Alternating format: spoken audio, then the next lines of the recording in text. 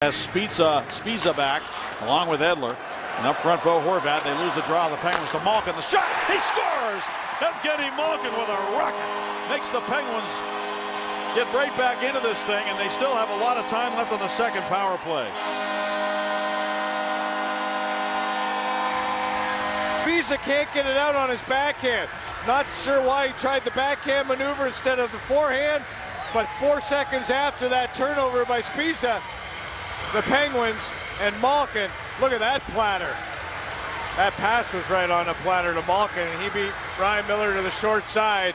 And the Penguins have made it two to one, still on this power play for another minute 50. Now up the right wing, it's Carl Hagelin. Hagelin to Malkin. Malkin to the slot, and he can't pull the trigger. He throws it in front, and it goes in. It goes in off a Canucks stick. I think Linden Vey put it in his own net.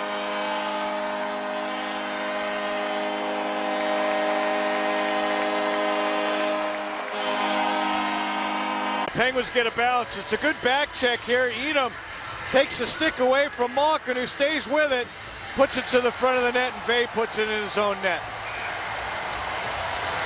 And he just shuffled it there. that was ridiculous for Vey to make that play. But puck luck available. Canucks read that, and Emerson Etem goes the other way. Daly steps up to poke it away from him. Now Kessel will pick it up. Kessel to Malkin cutting in. Malkin with a shot. Score! The hat trick for Gino.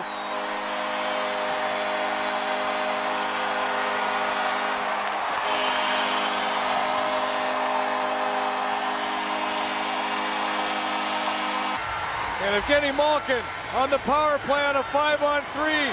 Took the Letang shot. That was his first. Vey put one in for Malkin. That was his second.